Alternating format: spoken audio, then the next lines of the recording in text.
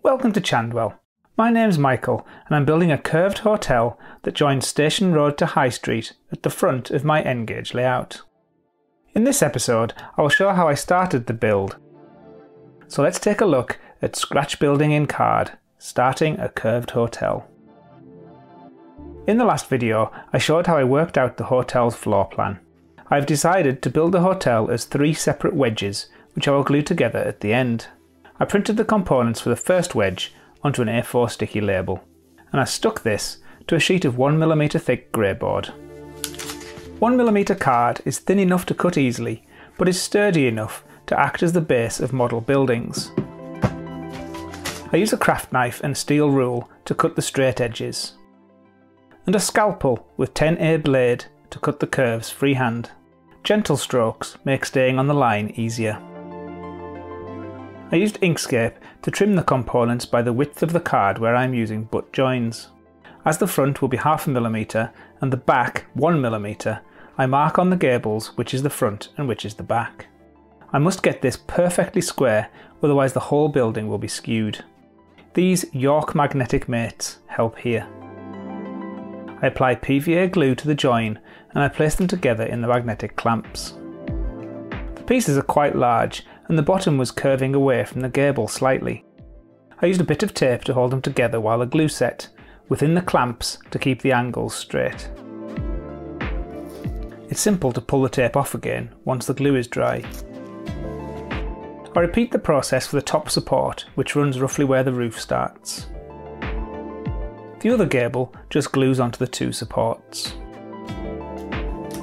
I use tape again to hold them in place. Take care to get the edges as smoothly aligned as possible, and then I put the wedge aside to work on the front. The front is printed to label and stuck to half millimetre card. The half mil card is easy to bend without creasing, but I also use a series of parallel guidelines as score marks. I gently score these with the scalpel, taking care to go right through the label, but only part way through the card. I cut the window apertures using the scalpel. I use the ruler for the straight lines, but I do the curved elements freehand. I always turn the card rather than the knife for best results. With the score marks done, the card curves nicely. Some minor adjusting and some tape help secure it in the right position while the glue sets. The front is only half a millimetre thick at this point and it's not very strong. I also want the window apertures to be deeper than half a millimetre. So I prepare another frontage, just a little smaller around the edges, cover it in glue, and slot it inside behind the original frontage. I decided to do it this way so that any irregularities caused by the curving nature are hidden on the inside rather than visible on the outside. I reinforced the gables with another layer of 1mm card. The joins are now all overlapping and the structure is very strong.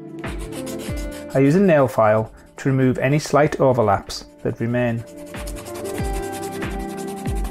Use Inkscape to prepare a textured wrap. The gable has a ghost sign at the top and white painted stones at the bottom. This will be the yard of Wharf Motors and will be grimy and full of junk once the building is finished. White dots are guides for where the hotel's name letters will be. I had the ends of a score line to help me fold the edges. I make two small incisions on the guides, turn the paper over and use the back of my scalpel to join the two incisions. This gives a lovely crisp fold without breaking the printed surface. I cut it out and then just gently wrap it around the glued building. It's a little awkward getting the windows sorted out because my big hands need to fit inside the building, but I slice through the covering with my scalpel from the outside, squeeze some glue onto the flaps, and use my crochet hook to fold the flaps around the base layer. This gives me a very strong starting point to detail the hotel and bring it to life. This part of the building has taken me 7 hours, which brings the total to 15 hours. For this video I used 5 sheets of A4 sticky labels, a little sellotape, 3 sheets of 1mm card, 1 sheet of half millimeter card, 2 snap-offs of my knife blade, 1 10A scalpel blade, 2 sheets of photo paper, and I filled up with 17 grams of thick PVA and 16 grams of thin PVA. This brings the total cost of Station Road so far to £2.26. I'm starting work on the entrance hall next, which will tie the two wedges together. I've been sharing progress photos with my channel members. If you'd like to see these too, please consider joining my channel using this button here. Here's a look at the start of my last epic build, the Royal Scott Hotel. Join me next time to see the entrance hall.